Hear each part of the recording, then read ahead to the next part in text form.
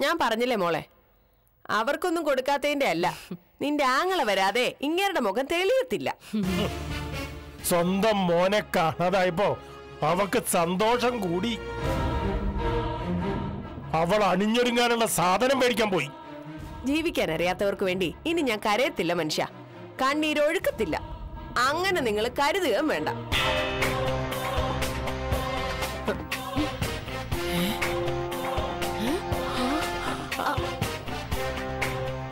ആഹാ വന്നായിരുന്നോ?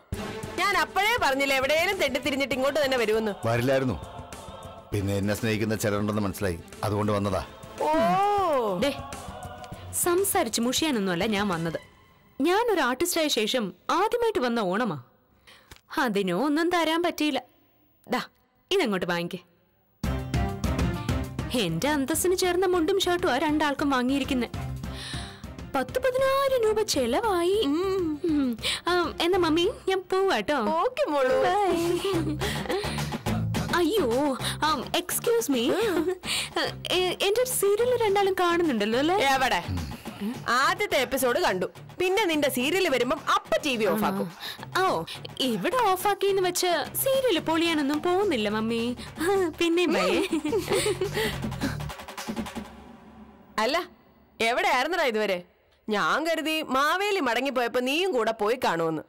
ഓ അങ്ങനെ പോയെന്ന് കരുതി വന്ന അമ്മയ്ക്ക് എന്നെ കണ്ടപ്പോ സങ്കടമായല്ലേ. ഇനി ആ സങ്കടം ചിലപ്പോ ഞാനങ്ങ് മാറ്റും. ഇവിടുന്ന് താമസം മാറി അങ്ങ് പോകും. എനിക്ക് ഈ വീടും അവക്ക് നിന്റെ അളിയന്റെ വീടും ഒരുപോലെയാ. അകത്ത് മൊത്തം ബന്ധുക്കളാണെങ്കിലും എല്ലാവരും ശത്രുക്കളാ. എടാ പശുവുള്ള വീട്ടിൽ പോയി കുറച്ച് ചാണകം മേടിച്ചോണ്ട് വാ. ഇവൾ പടിയിറങ്ങി പോകുമ്പോ തളിക്കാൻ. അത് അച്ഛൻ മോന്റെ മോൻ അച്ഛന്റെ മുഖത്ത് തളിച്ചാ മതി. നിങ്ങളുടെയൊക്കെ മോന്തയ്ക്കാ ചാണകം തളിക്കേണ്ടത്. മാറങ്ങോട്ടും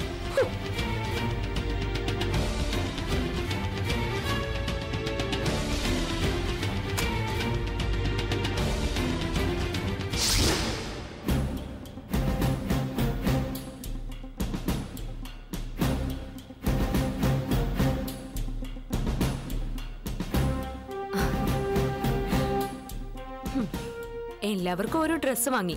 ദേ നിങ്ങക്കാ കൊള്ളാവോ നോക്ക്? അവളുടെ ഒരു ഡ്രസ് അല്ലെങ്കിലും അർഹതയുള്ളവർക്കേ സമ്മാനം കൊടുക്കാവൂന്ന് അറിയാം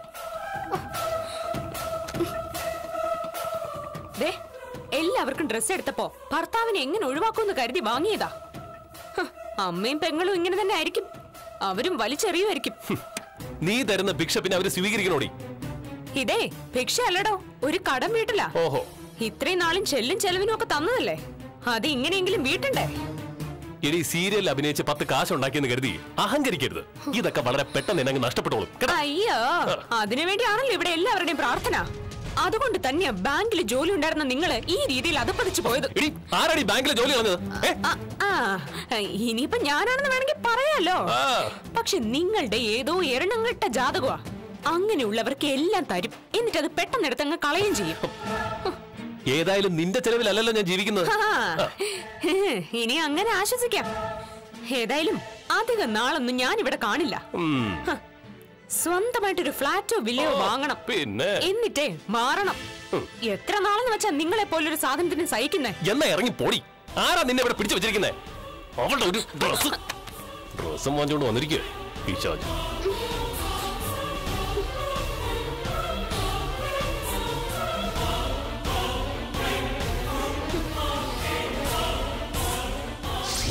ഞായറാഴ്ച വൈകുന്നേരം അല്ലേ അതെ. അപ്പോ ഭക്ഷണം സപ്ലൈ ചെയ്യാൻ നിങ്ങൾ ആൾക്കാരെ വെച്ചോളണം. കൃത്യം അഞ്ച് അഞ്ചര ആവുമ്പോ പറഞ്ഞതൊക്കെ അവിടെ എത്തിയിരിക്കും. അതെനിക്ക് അറിയാവുന്ന കാര്യമല്ലേ? നന്ദേട്ടന്റെ ഫുഡിനെ കുറിച്ച് നാട്ടിലൊക്കെ നല്ല പേരാ. അതുകൊണ്ട് അതിനെക്കുറിച്ച് എനിക്ക് യാതൊരു ടെൻഷനും ഇല്ല. ആ പിന്നെ ഭക്ഷണം കൊണ്ടുവരുമ്പോ തന്നെ പാത്രങ്ങൾ തിരിച്ചു തരാം ഓ അത് മതി. നന്ദണ്ണോ. എന്നാ പിന്നെ ശരി ഞാൻ വിളിക്കാം. ആ ശരി. എന്താടാ? ഓ എന്റെ നന്ദണ്ണ. ആരെങ്കിലും വിചാരിച്ചാണ് നിങ്ങൾ ഇത്രയും വലിയ നിലയിലെത്തുന്നു? നന്ദണ്ണം തന്നെ വിചാരിച്ചാണ് ഞാൻ എന്ത് നിലയിലെത്തിയെന്നാ? നിന്നെ പോലെ വെട്ടിപ്പം തട്ടിപ്പൊന്നും ഇല്ലാത്തോണ്ട് മാന്യമായി പണിയെടുത്ത് ജീവിക്കുന്നു. എന്തിനാണ് പിന്നെ ഇത്രയും വലിയ തമാശ പറഞ്ഞ ചിരി വരാണ്ടിരിക്കോ എന്തിനാ ഇനി തട്ടുകട നടത്തി കഷ്ടപ്പെടണേ വെറുതെ കുഞ്ഞിനെ നോക്കി മേശയിട്ട് വീട്ടിലിരുന്നാ പോരെ? കാശ് പെണ്ണുമ്പിള്ള കൊണ്ടേ തരത്തില്ലേ? അയ്യോ. അണ്ണ എന്തൊരു അഭിനയ അണ്ണ? എവിടെ പോയാലും രാത്രി ഒമ്പത് മണിക്ക് ഞാൻ ടിവിയുടെ മുമ്പിലുണ്ടാവും. ചില പകൽ സമയത്ത് ഞാൻ കാണാറുണ്ട് നയനയുടെ സീരിയൽ. നല്ല സീരിയല്ല സിനിമാ നടിമാര് തോറ്റുപോണ അഭിനയമല്ലേ? ദേ പറക്കൂട്ടോ. ഇനി നയനക്ക് തിരിഞ്ഞു നോക്കേണ്ട ആവശ്യം വരത്തില്ല. ആ. അതെ ഒരു ചാൻസ് തരോ. ഭാര്യയോട് പറഞ്ഞിട്ട് എനിക്കൊരു ചാൻസ് തരോ. അഭിനയമായിട്ട് നടക്കുന്ന അവളെ ജീവിതത്തിൽ നിന്ന് എങ്ങനെ പറിച്ചറിയാന്ന് ചിന്തിക്കുമ്പോഴാ അവന്റെ ഒരു ചാൻസ് അല്ല കെട്ടിയോൾ വലിയ നിലയിലെത്തിയത് അണ്ണന് സന്തോഷമല്ല അണ്ണാ.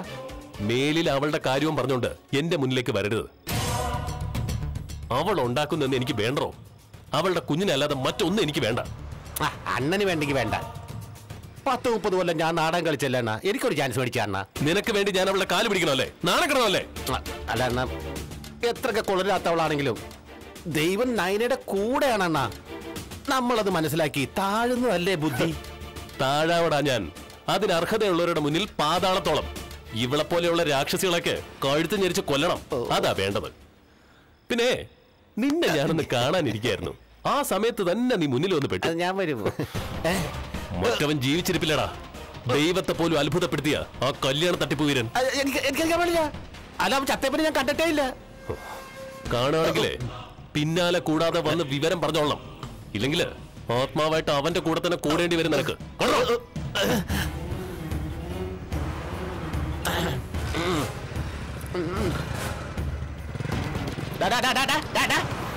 സീരിയൽ നടിയുടെ ഭർത്താവേ ദേവയാനിയുടെ കെട്ടിയോനെ നീ ആരുടെ നീ? പോറ നീ. ആഹാ ആ എന്നോട് കളിച്ചാട്ടില്ല. ആ.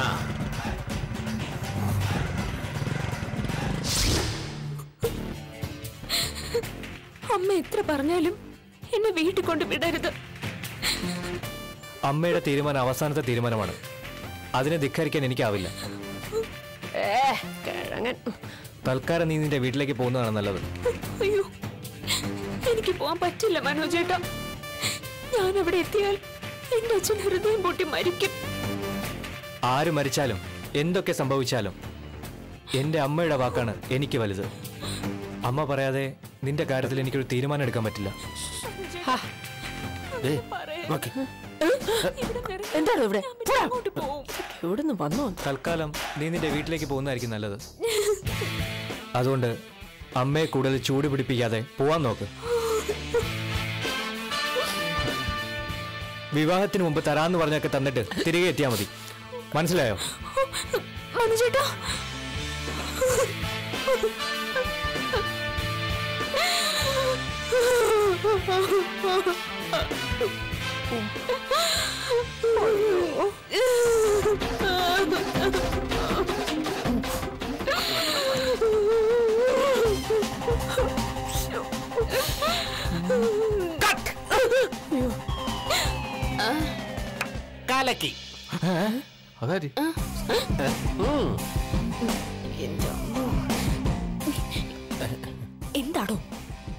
പുത്തൂർ ദിനകരൻ സീനിയർ നാടക ആർട്ടിസ്റ്റ് സ്റ്റേറ്റ് അവാർഡ് വിന്നർ. നയനയുടെ അച്ഛന്റെ വേഷം എനിക്ക് തരായിരുന്നു. അച്ഛന്റെ അപ്പൂപ്പന്റെ ഒന്നും ഇവിടെ ഇല്ല. താൻ പോടും. അല്ല ഐശ്വര്യം വരുമ്പോ ഇങ്ങനെ അവഗണിക്കരുത്. വഴി കൂടെ പോകുന്നവരൊക്കെ ചാൻസ് ചോദിക്കുമ്പോഴേ തരാൻ നിൽക്കുവല്ല എന്റെ മോൾ. ആ നിന്റെ യജമാനൊരുത്തനുണ്ടായിരുന്നല്ലോ അവൻ ചത്തതോടെ എന്റെ മോളുടെ കാലക്കേട് തീർന്നു. അവൻ ചത്തുന്ന ആരാ പറഞ്ഞേ?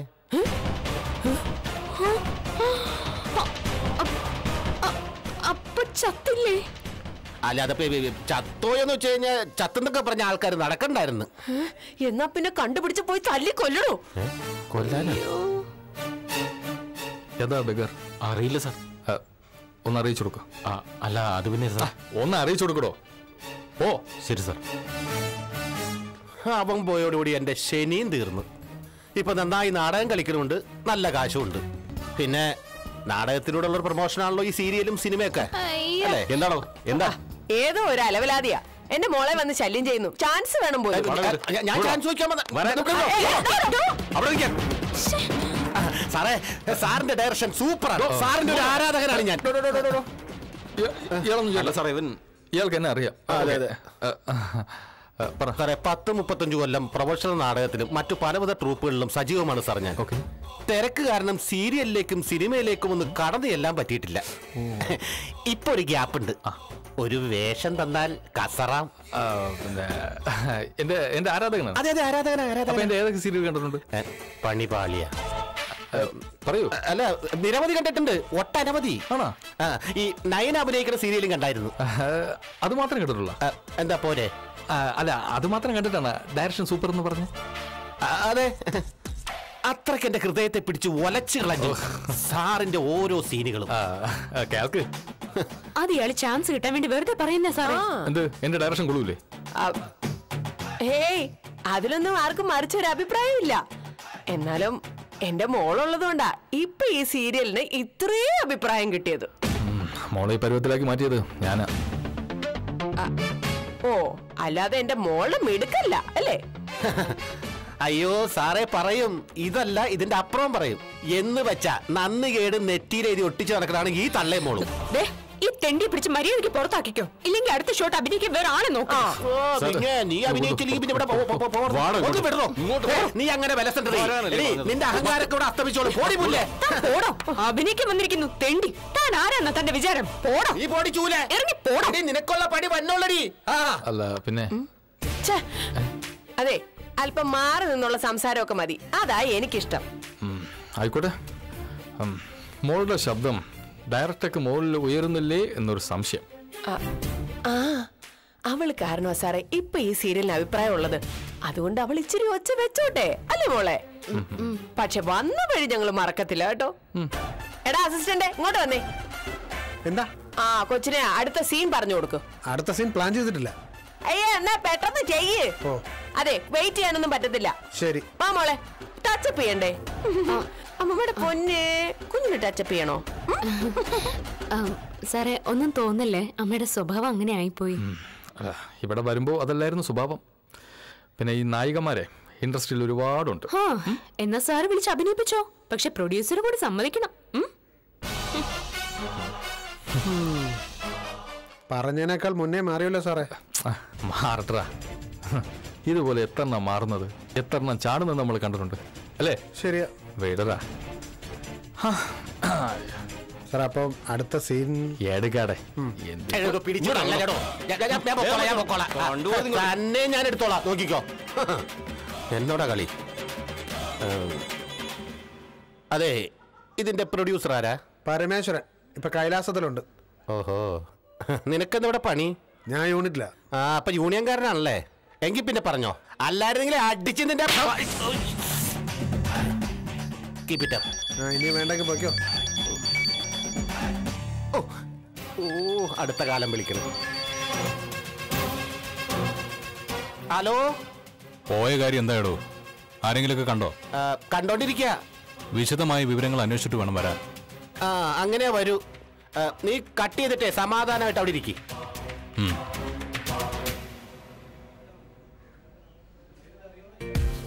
ഒരു മിനിറ്റ്. ഒരു ചായ ചായ ചായ. അല്ല അതിന്റെ പോളോ അല്ല.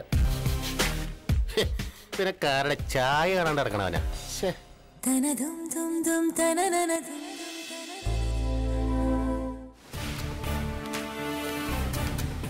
ആ ദേ ആ വളവ് തിരിഞ്ഞ അവന്റെ ആ. സഹദേവൻ എന്നാ പേര്. ഷാപ്പ് സഹദേവൻ എന്ന് പറഞ്ഞാൽ എല്ലാരും അറിയും. അല്ല പുള്ളിക്ക് ഷാപ്പിലാണ് ജോലി.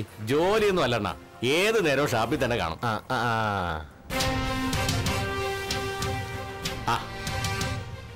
ഇപ്പൊ വീട് വരെ പോണ്ട. ദാ വരുന്നു ആൾ. അണ്ണൻ വാ. ആ. അണ്ണാ. അണ്ണനെ തിരക്കി വന്നതാ. അപ്പൊ ശരിയണ്ണ ഞാൻ അങ്ങോട്ട് ഓ ശരി. വലിയ ഉപകാരം. ആരാ? മനസ്സിലായല്ലോ ഞാൻ ആരാണെന്ന് പറയുന്നതിന് മുമ്പ് വന്നത് എന്തിനാണെന്ന് പറയാം. നിങ്ങളുടെ പെങ്ങളുടെ ഒരു മോളില്ലേ? ഒരു അച്ഛൻ ചത്ത കൊച്ച്. അതിപ്പോ എവിടെയാണെന്ന് അറിയാമോ? ആ അതേപറ്റിയൊക്കെ ഞാനതിനെ അന്വേഷിക്കുന്നേ. കൊച്ചിന്റെ അച്ഛൻ ജീവിച്ചിരുന്നപ്പോ തന്നെ നല്ല ബന്ധമൊന്നുമില്ലായിരുന്നു. പിന്നീട് ചത്ത ശേഷം. അവൾ ഭ്രാന്താശിലെങ്ങാണ്ട് കിടക്കുക. നല്ല മാമൻ. എന്താടോ വന്ന കാര്യം? ആ കൊച്ച് ചിന്നിമോളിപ്പോ മണർക്കാടാ. അവിടെ ശാന്തി തീരം എന്ന് പറഞ്ഞ ഒരു ആശ്രമമുണ്ട്. അവിടെ കഴിയാണ്.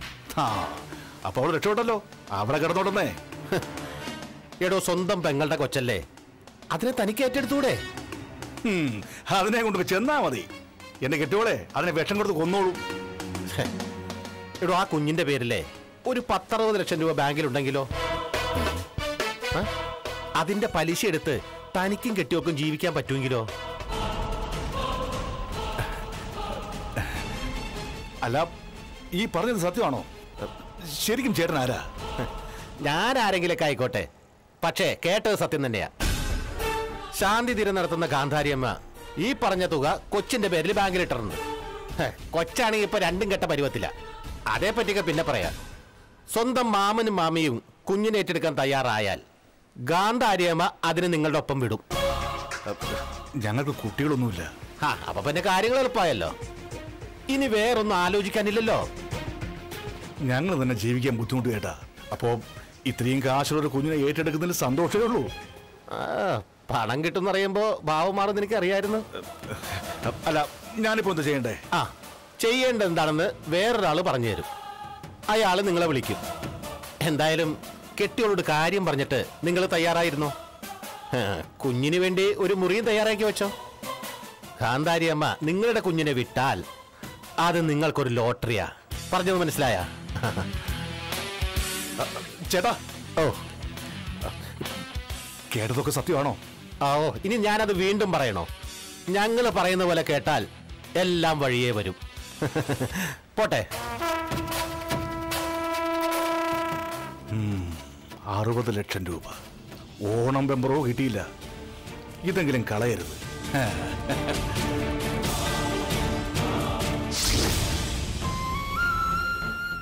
ഇനിയും ഇങ്ങനെ അച്ഛനെ കുറിച്ച് ഓർത്തിരിക്കുന്നത് ശരിയല്ല മോളെ.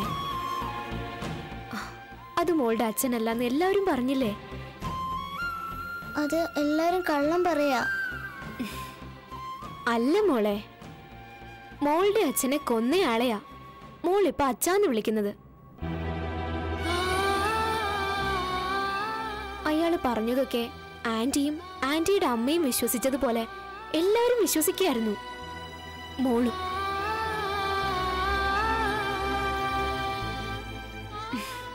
മോളുടെ അമ്മ എന്നെങ്കിലും ഒരു ദിവസം അസുഖമൊക്കെ മാറി തിരിച്ചു വരും. അന്ന് ഈ കഥകളൊക്കെ പറഞ്ഞു തരികയും ചെയ്യും. ആ അച്ഛനെ കൊന്നവരെ ആരെങ്കിലും സ്നേഹിക്കൂ മോളെ?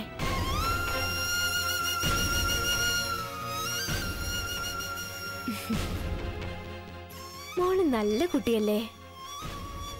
അപ്പൊ മോശം ആൾക്കാരുമായി കൂട്ടുകൂടാൻ പാടുണ്ടോ?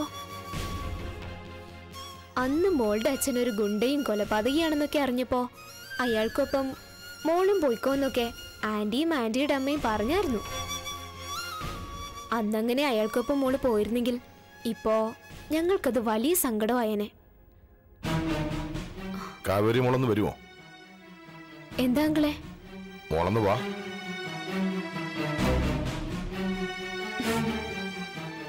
ആന്റി ഇപ്പൊ വരാട്ടോ.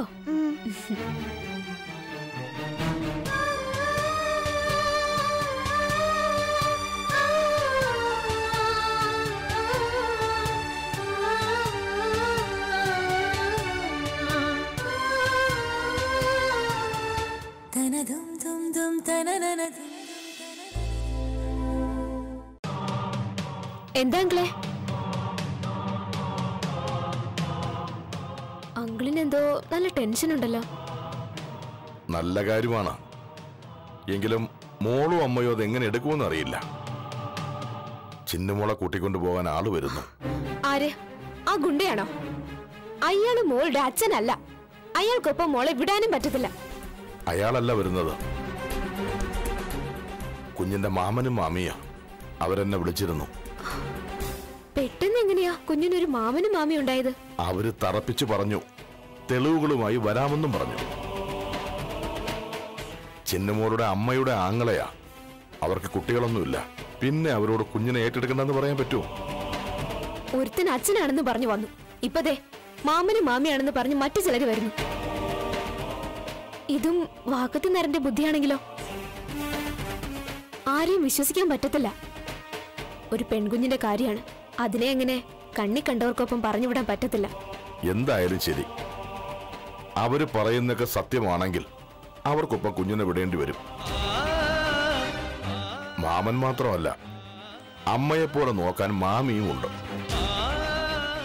അവരുടനെ ഗാന്ധാരത്തിലെത്തും അമ്മയെ കാണാൻ. മോളിപ്പത്തിന്റെ സങ്കടത്തിലാണ് സങ്കടത്തിലാ. ഇനി ഇവിടുന്ന് പോയേണ്ടി വരുമെന്നറിഞ്ഞാ അതെങ്ങനെ താങ്ങൂന്ന്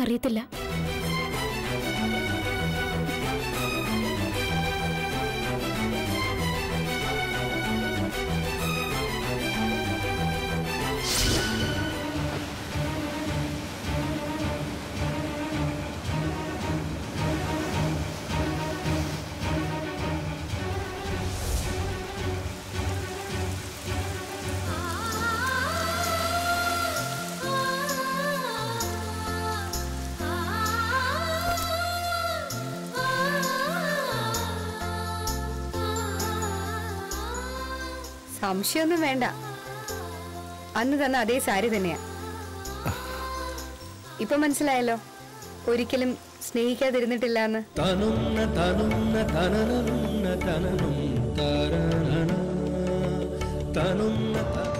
ആ സംഭവത്തിന് ശേഷം അവൻ കുഞ്ഞിനെ തൂക്കി വിറ്റോ കൊന്നോന്നറിയാതെ കഴിയുകയായിരുന്നു ഞങ്ങൾ.